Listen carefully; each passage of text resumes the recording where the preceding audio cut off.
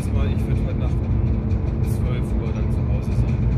Ja, ich hoffe, die Ferien fahren heute Nacht, also die auf jeden Fall.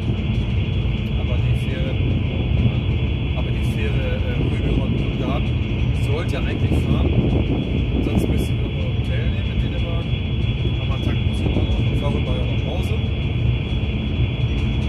Das nervt total, dieser scheiß Alarmanlage. Ja, und ich denke mal, wenn alle alles klappen sollte, bin ich heute Nacht um etwa 12 Uhr, also 24 Uhr, dann heute Nacht weg. Okay, ich denke mal, ich melde mich von der Insel Faro nochmal